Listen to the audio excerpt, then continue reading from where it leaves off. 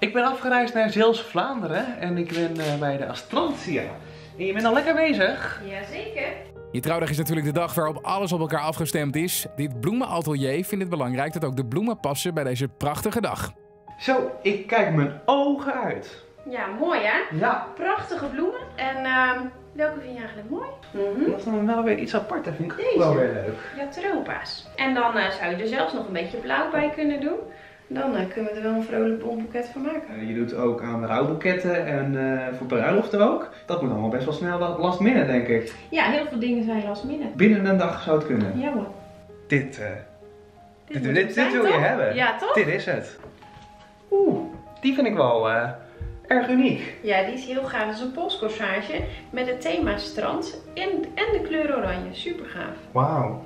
Nou ja, vind jij dit de beste van Nederland? Dan eh, zou ik zeggen, ga naar onze website en eh, Stem. stem op ons. Ja. Precies.